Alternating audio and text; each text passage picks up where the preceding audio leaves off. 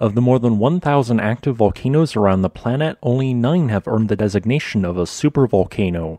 These supervolcanoes can be found across several continents and include Yellowstone in Wyoming, Campi Flegrei in Italy, and Aso in Japan.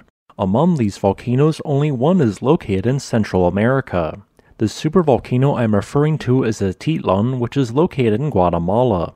It is still quite active as its magma chamber has produced explosive eruptions as recently as 1856. The Atitlan supervolcano is located in south central Guatemala, where it is 70 kilometers west of the nation's capital, Guatemala City. As we zoom in on the supervolcano, you will note that it contains a vast lake which appears to be rather circular. This lake fills the low points of the majority of the volcano's youngest caldera, which originated approximately 85,000 years ago. That eruption distributed ash over an area of 6 million square kilometers or 2.3 million square miles, ranging from Florida to Ecuador.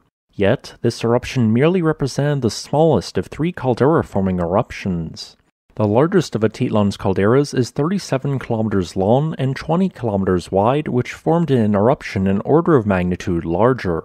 The Atitlan stratovolcano began forming 14 million years ago when a volume of andesite lava erupted onto the surface. This initial phase of activity began constructing a volcanic cone which was covered in layers of gray ash. Explosive eruptions occurred, building this individual volcanic cone into a towering stratovolcano. Over the next several million years, groups of stratovolcanoes and smaller volcanic cones were constructed. Over time, eruptions from these vents became increasingly explosive. The reason for this is that the lava was slowly becoming more silica rich as it leached material from the underlying crust. This caused erupted lava to have a higher viscosity, which began constructing lava domes instead of volcanic cones. Then, a long term period of dormancy occurred. Underneath the volcanic complex, a large amount of molten rock slowly built in the underlying magma chamber. Then, 11 million years ago, something caused this highly siliceous magma to finally erupt. As several large vents erupted simultaneously, kilometer high pyroclastic flows raced across the landscape, even traveling up mountains. The furthest these flows reached was 115 kilometers distant at the modern town of Culco.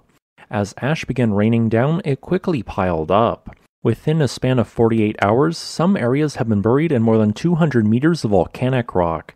Then, due to the large amount of volcanic material erupted, totaling 2,800 cubic kilometers of volcanic rock, a massive section of land collapsed downwards, forming a truly impressive caldera. In the following 3 million years, a similar sequence of events occurred. A basaltic stratovolcano eventually became andesitic, followed by lava dome forming eruptions, and then finally a period of dormancy. By 8 million years ago, the center of the volcanic complex had moved 5 kilometers to the south of its original location. Then it had another massive eruption.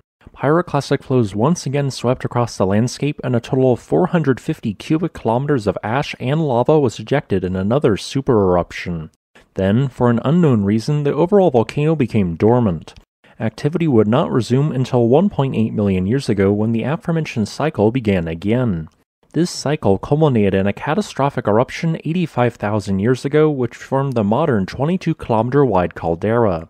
In total, 270 cubic kilometers of ash was ejected. Remnants of this eruption can be found in the several dozen meter thick beds of ash found in the surrounding landscape, such as shown on screen. In the aftermath of this eruption, a new volcanic cone known as San Pedro erupted from a vent on the southwestern caldera wall.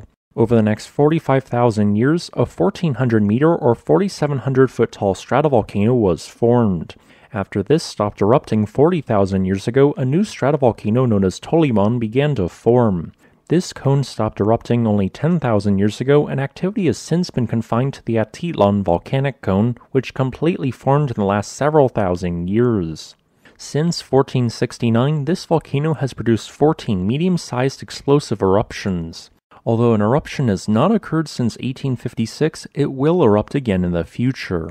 Such a future eruption will require the complete evacuation of several towns surrounding this volcano in a 10 kilometer radius due to the risk of pyroclastic flows. I hope that you enjoyed this video. If you'd like to request a specific topic, please leave a comment below. Additionally, if you wish to support this channel, consider becoming a patron on Patreon.